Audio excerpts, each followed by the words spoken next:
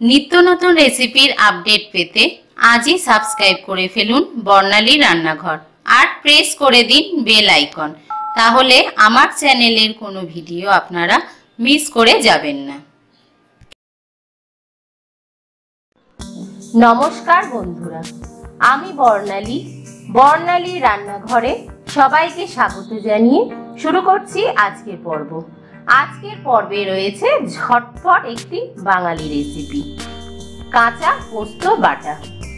গরম ভাতের সঙ্গে এটা খেতে প্রায় অমৃত সমান। আর বানাতে খুবই কমই সময় লাগে। এক মিনিটের মধ্যেই এটা বানানো হয়ে যায়। চলুন তাহলে আমরা দেখে নিই কীভাবে বানাতে হয় কাঁচা পোস্ত বাটা।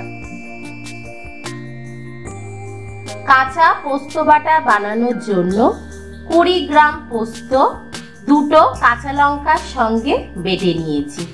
এটা আমি মিক্সার গ্রাইন্ডারে বেটে নিয়েছি।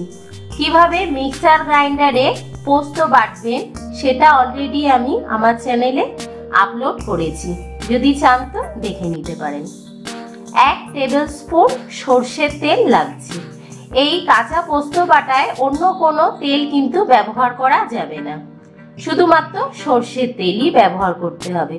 কেননা সর্ষের তেলে যে ঝাঁঝালো গন্ধ আর স্বাদ থাকে, সেটা অন্য তেলে কিন্তু আমরা পাই না। একটা কাঁচা লঙ্কা কুচি করে নিয়েছি।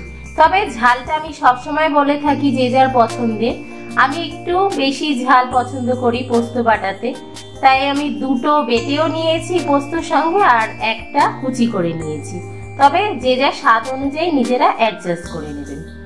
নুন নিচ্ছি স্বাদ মতো, আর সামান্য একটু পেঁয়াজ কুচি আর একটুখানি ধনে পাতা কুচি লাগছে।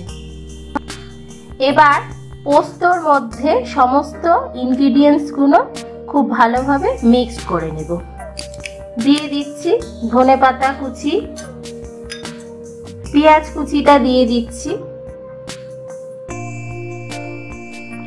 কাঁচা লঙ্কা কুচি দিলাম।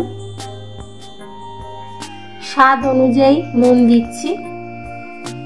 খুব বেশি নুন লাগে না পোস্ত বাটাতে। আর সর্ষের তেলটা পুরোটাই দিয়ে দিচ্ছি।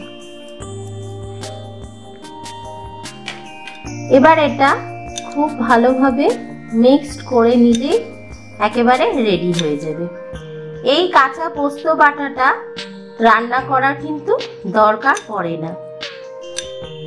এটা এমনি খেতেই বেশি ভালো লাগে। এটা যদি আমরা কড়াই, নাড়ি বা স্টিম করি কিছু, তাহলে পোস্তর গন্ধটা নষ্ট হয়ে যাবে আর এটা ভালো লাগবে না।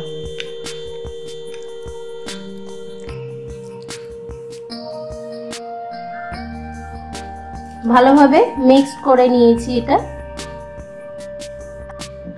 তৈরি হয়ে গেল। একেবারে বাঙালি একটি রেসিপি কাঁচা পোস্ত, বাটা। গরম ভাতের সঙ্গে খেয়ে দেখুন, কতটা সুন্দর লাগবে। খুবই তাড়াতাড়ি দেখা হবে আরও অনেক ভালো ভালো রেসিপি নিয়ে। সবাই ভালো থাকবেন। ভিডিওটি দেখার জন্য সবাইকে অনেক ধন্যবাদ। বাই